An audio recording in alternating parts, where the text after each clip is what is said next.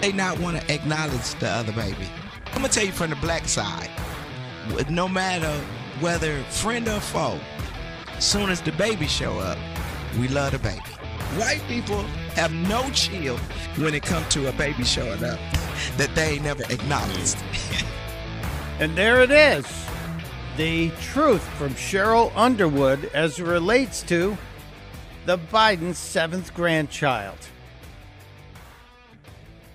That opinion of Cheryl Underwood, a black woman who has considerable heft in the community, that opinion is why the Democrats are nervous about Joe Biden. That opinion is why the Biden family turned 180 degrees last Friday and accepted the seventh grandchild. Finally. It's amazing, isn't it? It's Mike Opelka in for Chris Plante on the Chris Plante Show. Welcome to Wednesday.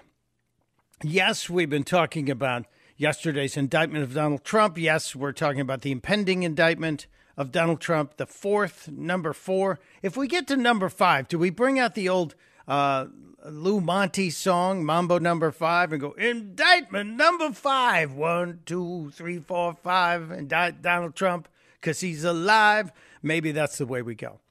Just saying. But uh, I think the Democrats are smelling problems, real problems, with uh, their candidate. And that's why they are pressing harder and harder and harder on Joe Biden, trying to bring back the avuncular nature of Biden's image, trying to let us know that uh, good old Uncle Joe is back, even though today is the best day he's going to have cognitively. His physical health may be okay for an 80 year old guy. He was out bike riding again. He's taking a bike ride every day while he's down in Lower Slower, Delaware, but not answered any questions from the media. But his his cognitive skills are at large and being questioned at every turn. So I think there's concern because the communities that that the Democrats rely on, specific communities, the black community, the Hispanic community, uh, some of the some of the other fractions that they go after. Uh, they are um, they're absolutely concerned that Joe Biden might have a problem. And you need only to look at the latest Gallup polling, the latest New York Times polling that shows Joe Biden is in trouble. When half of your base is begging for another candidate, half of your base wants another person in that spot, you have to know it's not good. And we really even haven't gotten deep into some of the investigations that should be happening into Joe Biden, into his son, into his wife, into his brother, into anyone with the last name Biden to see where they got all that money. The DOJ isn't doing it. They are uh, they're abdicating their responsibility. So we shall see. I, I salute Cheryl Underwood for telling the truth. I salute her for saying no no, that that baby is accepted in the community. I'm old enough to remember when Jesse Jackson ran for president in 1988, and there was a story that Jesse had impregnated a campaign worker. There was an allegation that a campaign worker had a child with Jesse Jackson. And we never heard anything more about that except that that child was being raised by Jesse Jackson and his wife or their family. In the case of the Bidens, they didn't even want to see this child. And that really has hit Biden in the female community, in those those Democrats who are in the center, those Democrats who consider themselves uh, Democrats but not far left. And it just shows you that that social issues will have a huge impact going forward. I still believe it's going to be the parents who are going to determine the 2024 election. I still believe it's it's mom and dad dealing with their kids, dealing with what's being foisted upon their kids that are going to make the big decisions going forward.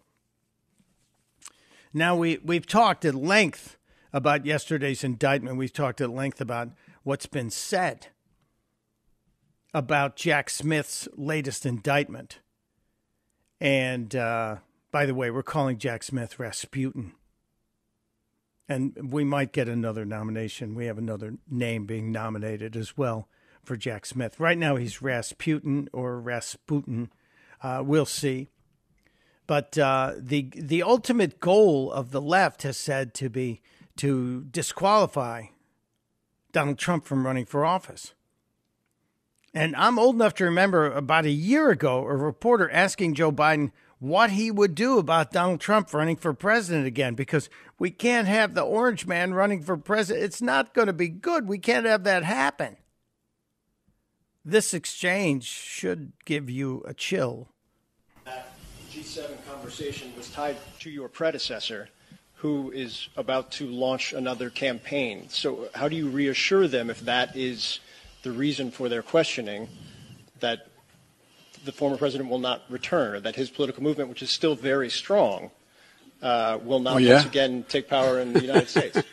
Now, the question was about the G7, where Biden was saying there were people wondering if if he would uh, if he would actually he Donald Trump actually be running and could that mean Joe Biden would be out and the G7 would have to deal with Donald Trump again?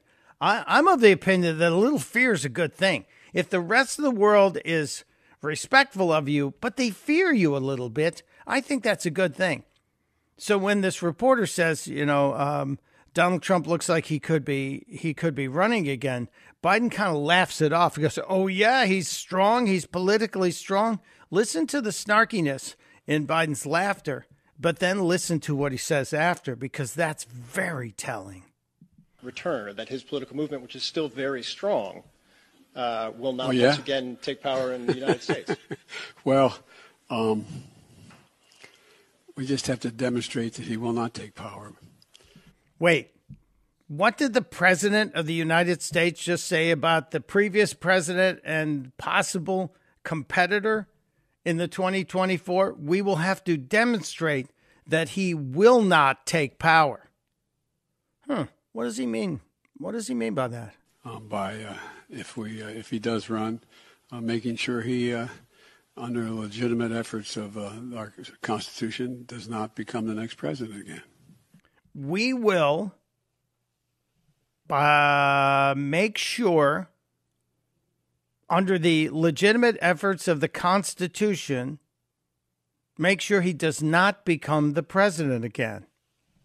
Anyone think like all of this, all these all these indictments have been just sitting around waiting to be dropped as as we played for you the timeline of the problems for the Democrats, Joe Biden and his his corrupt family, and then suddenly there's an indictment. And a whistleblower comes forward, there's suddenly an indictment and the former business partner of Hunter Biden comes forward and confirms what we've known that Joe Biden knew all the time what Hunter was up to. He knew the business partners. He talked about them. He talked with them. He had dinner with them. He played golf with them. Next day, there's an indictment. This seems to be very well planned, very well laid out. And it's only because the power structure does not want to lose its spot. They don't want to give up what they've got. And why would you? I mean, let's just look at the trappings of the presidency. It is remarkable. It is absolutely remarkable. And and if you weather it, if you weather the the all these slings and arrows coming from the outside and you get through your term, uh, you're you're secure for life and you could travel the world and have protection and you can give speeches and rake in the money unlike the Bidens who've been raking in the money allegedly as much as 50 million dollars just because they could get Joe to say hello and smile. Does seem like it's been a plan for a while, doesn't it? Yep. Now there was an interesting twist on all this yesterday. There was a, a judge in Pennsylvania, a Pennsylvania state judge, ruled that Donald Trump is protected by presidential immunity for statements he made creating doubt about the 2020 elections while he was in office. uh, Philadelphia County Court of Common Pleas judge, a judge named Michael Erdos, ruled that the 2020 election worker James Savage, who was trying to sue Trump over election claims, uh, was unable to do so. That Trump's immunity included coverage of a tweet and other comments he made from the White House while the Pennsylvania State Senate Committee met in November of 2020. So I wonder if there will be some push to see if that same immunity could transfer to the post presidency with Donald Trump questioning the legitimacy of elections. I also wonder if we're now going to see a push to go back to each and every one of those states and relitigate the arguments about voter fraud, corruption, voter machines being jammed, etc. I know that uh, Kari Lake is still waging a battle in Arizona. Don't know if it's going to be successful, but God bless her, she's still going after it because it seemed mighty suspicious what happened in Maricopa County on election day. But we'll watch Jack Smith or Rasputin or wh- whatever his nickname, new nickname is. As a matter of fact, let's check in with uh, Ron in Fredericksburg, Virginia. Ron, welcome to the Chris Plante Show with me, Mike Opelka. You have a uh, potential nickname for Jack Smith? Is Ron with us? I. Ron, hello. Ron is with you. Hello. Uh, well, I'm glad you're with us, Ron. I didn't mean to make you speak in third you, person. You, you, uh, you do a great job for filling in for Chris. Thank you, sir. Uh, you know, let's think about the Unabomber, Ted Nowinski. Yeah, Unabomber. Ted, but, Ted Kaczynski. name and you think, yeah. Now, well, let's call let's call him the lawyer bomber. Mr. Jack Smith because you know when you say his name, you just want to think of the, the Unabomber and how disgusting he was and how much people hated him. Well, I think that's where this guy's going to be. It. But now the lawyer bomber. You the lawyer bomber. You're calling him the lawyer bomber. I, I have to give credit yeah. to uh, Greg Gutfeld, who I think is a genius. Greg Gutfeld said, "What we're witnessing," he said this yesterday. What we're witnessing is uh-huh. not warfare; it's lawfare and he he correctly identified. I had to look at my notes because I always keep a notebook with me while I'm driving around or watching TV, and I have to take notes. Uh, he called it lawfare. What's going on is the lawyers actually in a legal war that will determine the control of our country. So, um, yeah. What, what was your your nickname again for? Uh, my nickname was the the lawyer bomber the lawyer bomber. He's the lawyer bomber. He's coming yeah, in because, dropping legal bombs. Yeah, well, if you look at if you look at uh, Ted and you look at uh, Jack, there's a, quite a bit of similarity. If you put his head on one or the other, you would say, "Oh, they look alike." In my opinion. I, I wonder if we photoshopped um, uh, the lawyer bomber in a hoodie with some some sunglasses. He he might look like the Unabomber. That's it. Yeah, exactly. I'll put it on the consideration list. Uh, it's a good one. It's a good one. I'm still kind of stuck on the uh, the young lady. I think her name, and maybe uh, maybe Jane will remind me correctly. I think her name was Emily. Uh, please let's clarify so we give the correct attribution. Who came up with Rasputin? And so I'm, I'm still leaning towards Rasputin. Guy, Sorry. Well, I don't think Rasputin was a super bad guy, was he? I I, I I recall him just being some sort of religious figure, but I might be wrong. I was a swindler. He was a uh, a charismatic oh, a religious swindler. Yeah. Oh, okay. I, there's That's not it. a lot of, of, love given to Rasputins. Anyone who gets the name Rasputin doesn't exactly go, "Oh, great, thanks for that." I, have always wanted to be called that. Yeah. All right. We'll, well see. Just a, I, just a thought, but I think that you know, I think he looks more like uh, uh, Ted than he does uh, Rasputin. Than Raspy, the old Raspy one. Well, the old I, Raspy. I, I appreciate you being there, Ron. Thank you so much. Uh, I I want to take a call, but I'm out of time. Mike in Gainesville, hang on, hang on. I gotta, I gotta hear from you. Oh, it was Patty, Patty who came up with that uh, Rasputin moniker. Thank you, Jane, so much. Jane's on the phone and also keeping one ear on me. It's Mike Opelka in for Chris Plante on The Chris Plante Show. You're listening to The Chris Plante Show.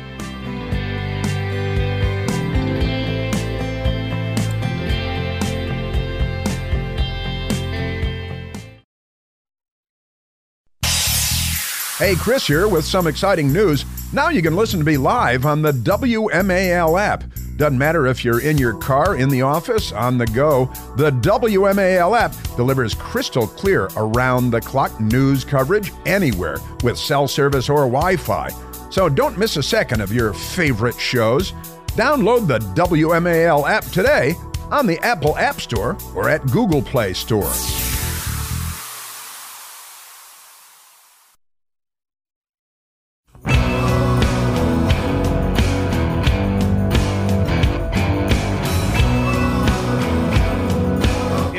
Chris Plante Show on a fabulous Wednesday in America. Mike Opelka in for my friend Chris Plante. And I know someone's going, well, how could you say it's fabulous? Donald Trump was indicted for the third time. You got to remember, these indictments have made him stronger. Every time it makes him stronger. It seems like it's futile for them to continue to do it, but they're piling him up one after another. The Democrats keep pushing him out there. So uh, I, I think in the end, they will regret it. And I mentioned Greg Gutfeld just a little bit ago. Uh, last night on the on the five, which is a terrific program, uh, Gutfeld had uh, this take on Donald Trump and these indictments, and he tied it to uh, Popeye. If Trump were Popeye, indictments and impeachments, they're the spinach. That's right. The more indictments, the bigger his muscles get. well done, Gregory. Um, there is bipartisanship happening, and maybe it's something we need to discuss in the next half hour. It, it looks like uh, Nancy Mason, and Jamie Raskin are both sponsoring a change in the rules that if you are a recreational marijuana user, you will be allowed to hold a federal job because that's not the case right now. I wonder if this signals there's going to be more action on legalizing recreational pot around the country. There are 20 plus, I think we're at 26 states where it's legal. I'm not a fan. I'm never going to be a fan because it's just too easy for too many stone people to be on the roads.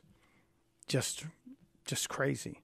Uh, all right, I, I mentioned that Mike in Gainesville had been holding for a while, so let's get him in here. Mike, uh, you have a thought on all of these indictments and whether or not it'll block Donald Trump from being on the ballot?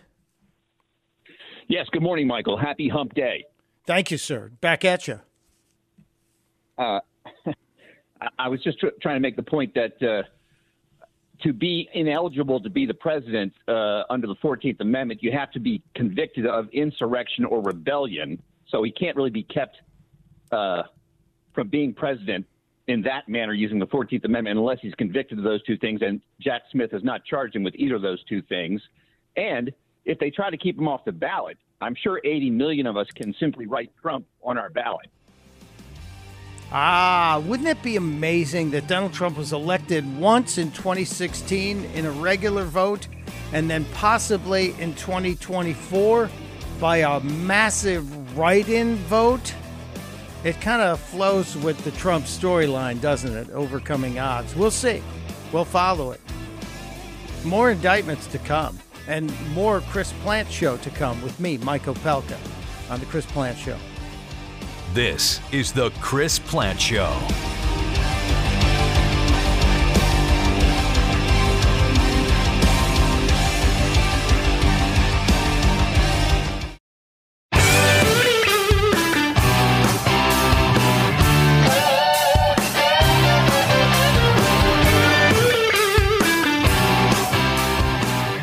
It is the Chris Plante Show on a Wednesday. Mike Opelka in for my friend Chris Plante.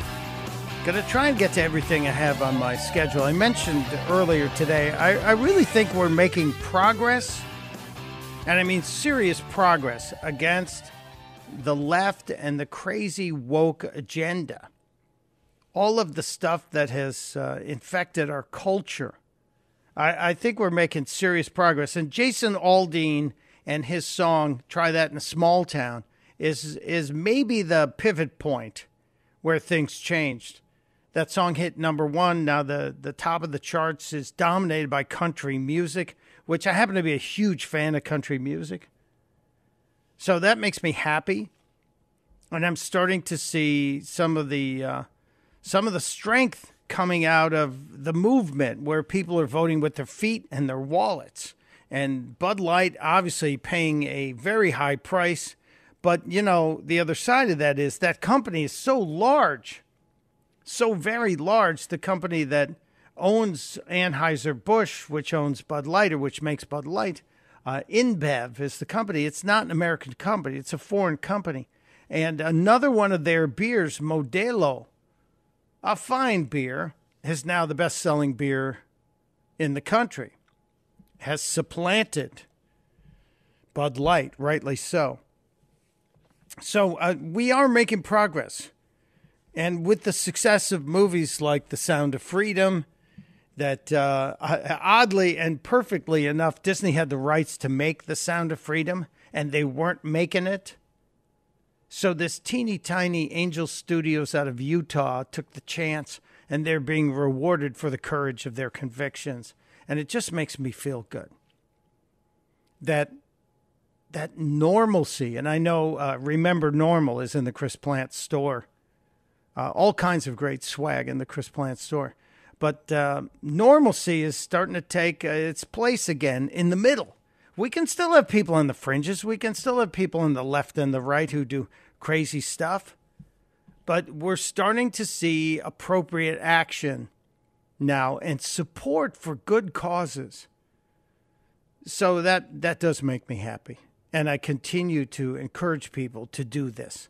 I continue to encourage people to you got to keep keep supporting with your wallet and your feet you know maybe maybe you made a move away from so many products coming out of China but there are other products out there that a lot of us think are American products that they, they really aren't American companies I was looking over a list of American companies that are no longer American uh, for example the simple delicious summertime treat the popsicle the popsicle was an American invention. An 11 year old kid invented the popsicle a bazillion years ago. They sold the rights to another company in America that subsequently sold them to Unilever, a gigantic food conglomerate not based here in America.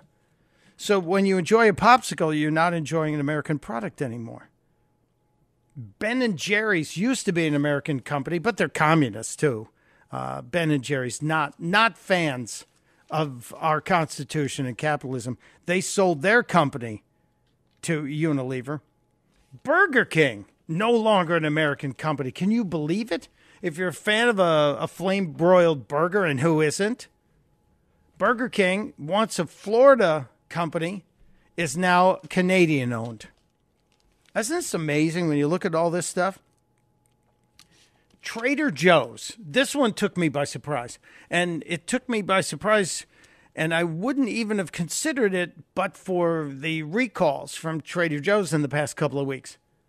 There were cookies that some of the cookies, almond cookies, had rocks in them. That's never a good thing to have in your cookies.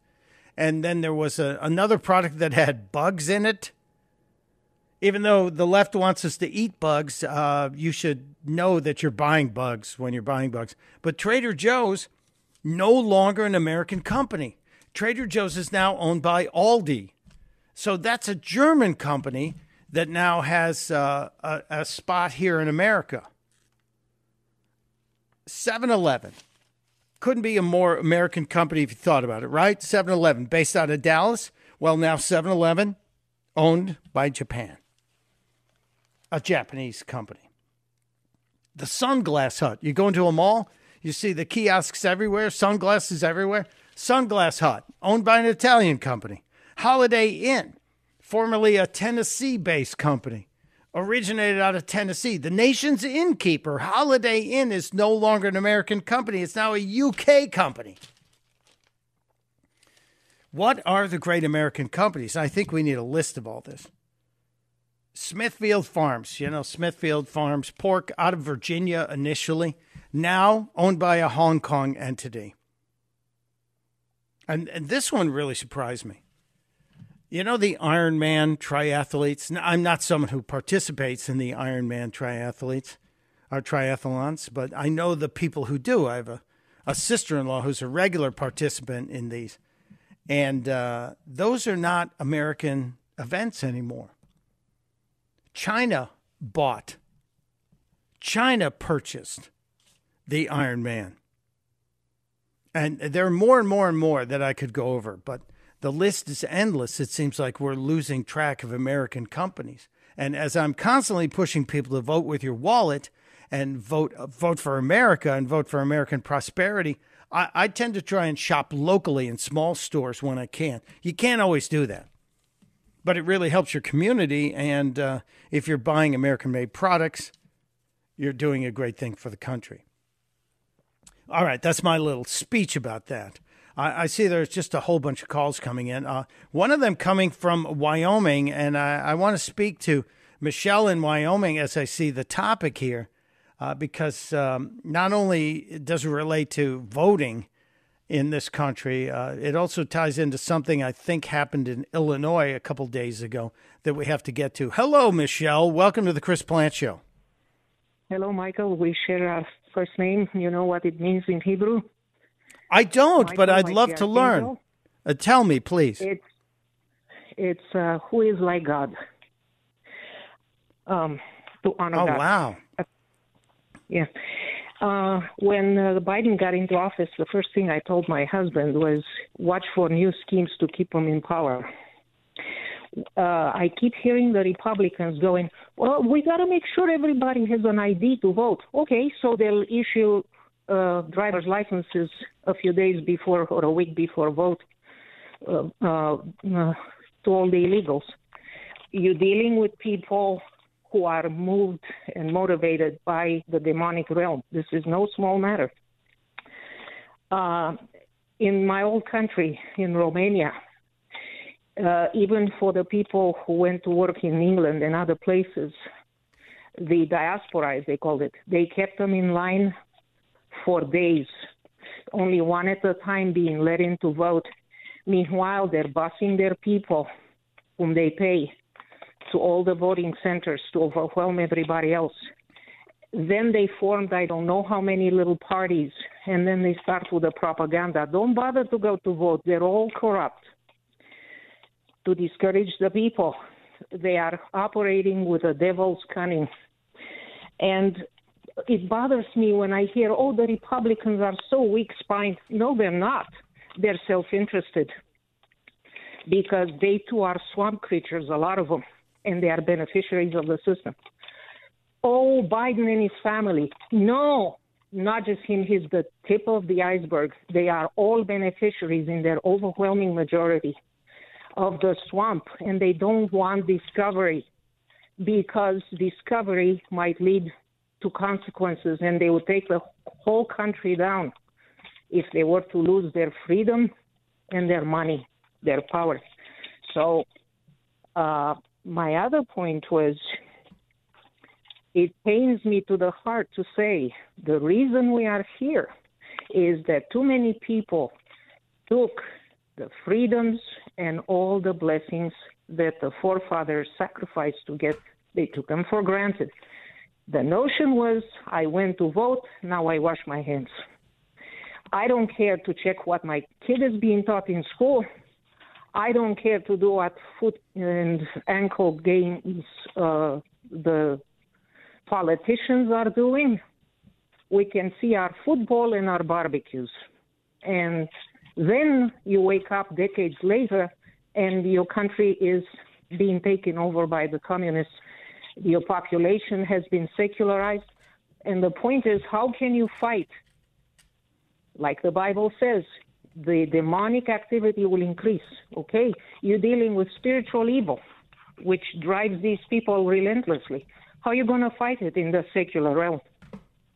That's what we're setting ourselves up for.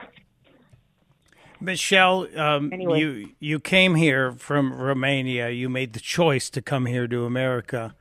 Uh, how old were you when you left Romania? Oh, I just finished high school. Okay, so you were you were smart enough to know what the heck was going on and where you were where what you Yes. were leaving and where you were coming to, right? Yes. And you know, I walked in plastic shoes and I have graduate degrees, technical degrees, and I paid every penny of my student loans. God bless and you. my dad held two jobs. we were poor, but we had a vision and we had the heart and the conscience to know you have to sacrifice for something worthwhile. Never sat under a tree for the pear to fall in our mouths, as a saying is in the old country. You know, Yeah, you got to climb the tree and pick the pear if you really want to make sure you're you're eating today. What um, Yeah. what a great testimony! What a powerful story, and uh, I I really think this is what more Americans need to hear is from people who came here because this was, as Ronald Reagan said, the last shining city on the hill, the great shining city on the hill. And if we lose it here, we lose it around the world. So I, I um, thank you for sharing your uh, your testimony and the fact that we both share the same first name, Michelle. God bless you. I appreciate you so much. and you and I always enjoyed talking to you. We talked before. God bless. Oh, thank you, thank you. I thought you sounded familiar. It's hard to forget that that fabulous Romanian accent. Thank you, Michelle. Uh, I, I need to get to Wyoming. I've not been to that state. That's one of six states I have not visited, and I need to get here. Uh, we talk about history a lot. I do. I, I monitor what's going on in history. Uh, Matt in Arlington, Virginia, wants to make sure we understand uh, today as it relates to history. Matt, welcome to the program, sir. Well, uh, good morning. This is the 100th anniversary of the passing of President Warren Harding. And he's he's forgotten and he's a bit ridiculed by by the historians. And one thing I thought was interesting is you used a phrase just a, a couple of minutes ago, normalcy. Yeah. That was his one of his taglines during the 1920 uh, election, and he was ridiculed for it because they thought it was uh, an improper use of the word uh, or grammatically. And he had been a newspaper editor, and he he uh, he he knew the proper use of the word, but he was still ridiculed for it. And on this date, um, President Warren G. Harding passed away, and Vice President Calvin Coolidge became the president, if I remember. That is correct. And uh, the, the the amazing thing is having died under under terrible scandal with the Teapot Dome, among Yeah. other things. And you you go back in history, and it's very interesting to see these um, uh, 50 year cycles of scandal. That 50 years ago, uh, in 1973, was you know the real breaking of of Watergate, and then 50 years was uh, Teapot. 50 years before that was uh, the U.S. Grant. Wow. I wonder if uh, we need to keep a 50 year clock to look for a 50 year scandal timeline to see. That's a, that's a great little bit of uh, history, a great little nugget there, Matt. I appreciate it. And thank you for reminding us of President Harding's passing 100 years ago today. Uh, there have only been 46 presidents. Uh, here we are at uh, another crossroads of 50 years from the Watergate scandal. Interesting how that all unfolds. Thank you, Matt. I appreciate it. Uh, I've got time for one more quick one here. Let's go all the way up to Canada. Let's go all the way up to Ottawa, where uh, Rick is listening to the Chris Plante Show. Rick, you wanted to weigh in on this. What what do the Canadians think of everything that's going on here with our president? Yeah, sorry, sorry, sorry, in true Canadian fashion for whatever we need to be sorry for. Um, thanks for filling in to, for the big shoes or the big uh, the big loafers or the big Crocs of this plant. You're welcome. Uh, first of all, I want to say uh, I want to talk about the weather because the weather here in Ottawa is nice and pleasant on this sunny August day. And what, Wait a minute, R- Rick. Rick, you're not allowed to talk to me about. Wait, you can't talk to me about the weather unless I'm sure you're calling from a burner phone. Yeah, no, no, no. I really want to talk about the weather. That's that's the important thing. The weather is the important thing, and you know, and the fact that I may want to bribe you or or uh, Well, listen, if you're gonna if you're gonna immaterial, you know? if you're gonna wire transfer money to me, I, I don't want those crazy Canadian dollars. I don't want any of those loonies coming across the wire. I want Oh, yeah, good yeah, old yeah. American dollars. Canadian Tire money, yeah. anyway, I just wanted to make that point. Yeah, yeah. We want to talk about the weather, and that's the important issue. Yeah, yeah. and all uh, the the- Canadian smoke, Canadian smoke that we're sending your way. Yeah, have you stopped that? Are the wildfires out? Can we finally get a break from all the Canadian smoke you've been sending our way? Yeah, we'll we'll uh, we'll deal with that. Our our illustrious prime minister will uh, will deal with that in his own his own fashion. I'm I'm sure. And is he related to Fidel Castro? That's the question most of us Uh, want to know. There is definitely there is definitely a uh, a, a resemblance. Uh, we'll leave that as a moot point. Are you allowed to bring that up? Are you in, are you allowed to bring that up in oh, yeah. Pleasant Society? People bring that up all the time, as well as his name, Justin. Some people call him Justine. Uh, Oh, that's great. That's fantastic. Uh, Rick, thank you. I, I got to take a break, but I, I had to go up to uh, Ottawa to find out what the heck was going on. We appreciate you listening. It's Mike Opelka. I'm in for Chris Plante this week. I'm very fortunate to be here. We'll try and get to uh, final statements here just around the corner on the Chris Plante Show. There's only one Chris Plante. The Chris Plante Show.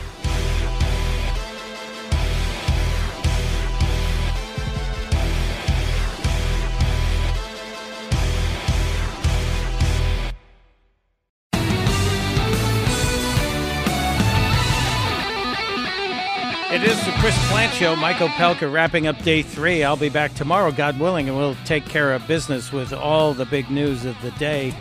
So many people participated today, and so many reached out via social media saying, hey, we need to have the call from the beautiful Romanian woman, Michelle, and it will be on the podcast. So give it a couple hours. The Chris Plante podcast will be up and you can play that call. It it was powerful and touching and important to share. So thank you all of you for noticing that, and thank you Michelle for reaching out. We just got off the phone too with a uh, Canadian gentleman, one of our neighbors to the north, as uh, I like to call it, America's favorite suburb, Canada. And uh, I just saw this story that's kind of vexing. It's on the Life site the LifeSite news uh, site that an Ontario, Canada woman has been asked to donate her husband's organs, which that's not unusual. Hospitals will do that when someone dies. Uh, the unusual part of it is um, he should be alive because he, he should have been given a kidney transplant, but he wasn't vaccinated. So the Canadian Health Service denied him the transplant and now they want the rest of the organs. Hmm. Interesting. No. And one more re- request. I, I don't have time to take the call. Uh, let's try it real quick. Frank. Oh no, we don't. Frank in Charlotte, North Carolina asked, "How could Biden get 81 million votes?" Well, you need to get the song from the Truth Bombers featuring Kari Lake. The title 81 million votes my ass. I'll be back tomorrow, and you should be too.